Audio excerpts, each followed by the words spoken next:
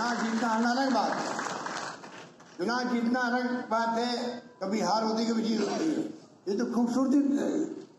ये लोकतंत्र की खूबसूरती है जो कांग्रेस ने दिया लोकतंत्र को महात्मा गांधी की सानिध्य में पंडित नेहरू मौलाना अबू कलाम आज़ाद सरदार पटेल अंबेडकर ने बनाया संविधान आज छिहत्तर साल में कोई कम बात है हम लोग इनको कायम रखे हुए इसलिए आज नरेंद्र मोदी जी को प्रधानमंत्री बनने का सौभाग्य मिला है इसलिए मिला कांग्रेस की जो नींव रखी हुई थी लोकतंत्र की उसको मज़बूत किया हम लोगों ने।